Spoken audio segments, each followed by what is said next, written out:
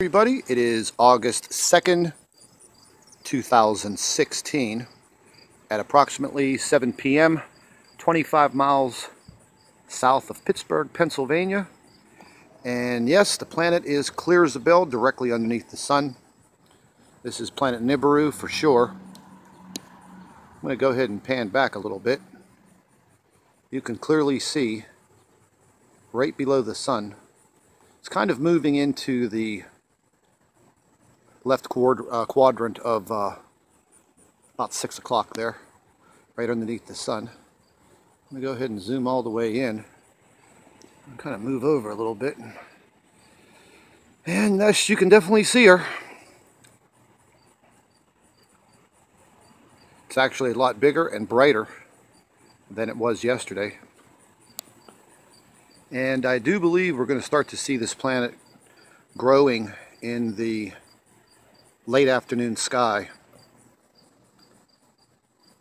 As each day goes by, I do believe it is going to get bigger and bigger and bigger to the point where eventually you'll see it with the naked eye. And that's when it's going to become very, very alarming to a lot of people throughout the world. They're not going to know exactly what it is. They're not going to know what to do. Our government's withholding all of this information from us. But you can clearly see it. There's no doubt about it. It's not a lens flare. You can see my lens flare moving back and forth. It is clear as a bell. Now right now, at this time, August 2nd, 2016, Nibiru has already made its orbital pass over the sun.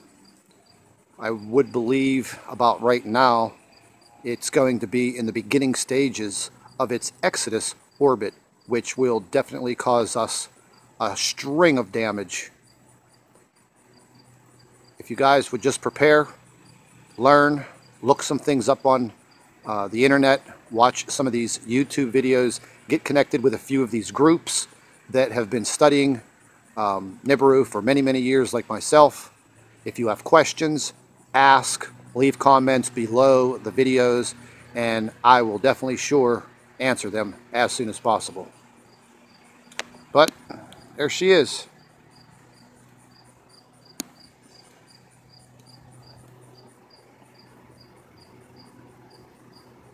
Clear as a bell.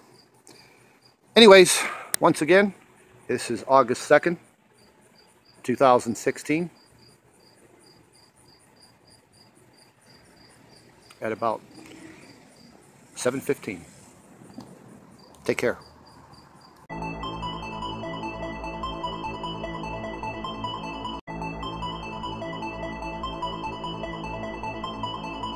Everybody, it is August 2nd, 2016 at approximately 7 p.m.